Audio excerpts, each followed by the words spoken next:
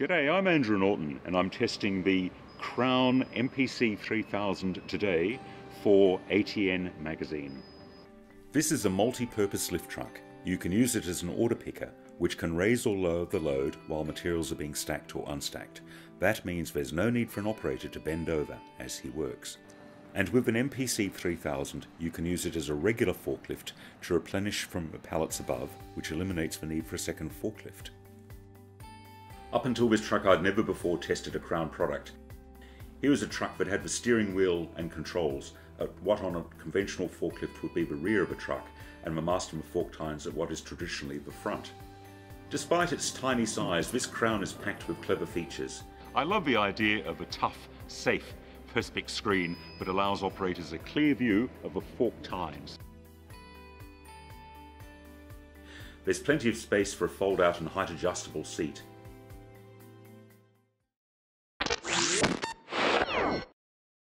A compact dashboard has a battery charge indicator and keypad startup once a four-digit code has been entered.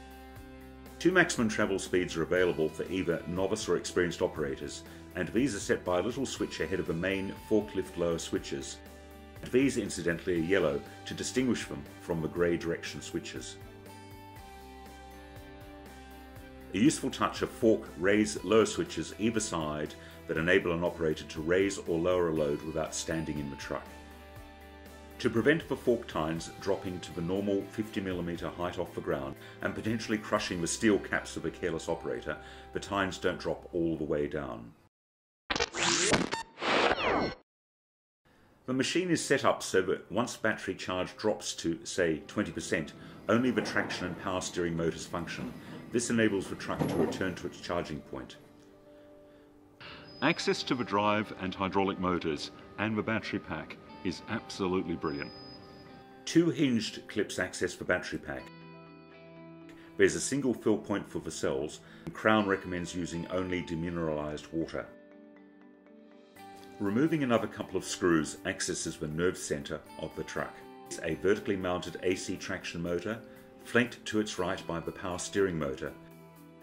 This is simply the best motor access I've ever seen on a battery forklift. First impression was how much room there was in the footwell space. I could easily turn to the front or back without my belly getting stuck in the opening between the battery enclosure and screen mounting base. Having AC drive motors, you can operate this machine with real precision. Once I had the hang of the thumb control, I could switch to the hare control, which still gave me precise control off the mark, but a faster travel speed. One thing I did notice was that despite the relatively skinny traction wheel, the truck was not at all skittish at maximum travel speed.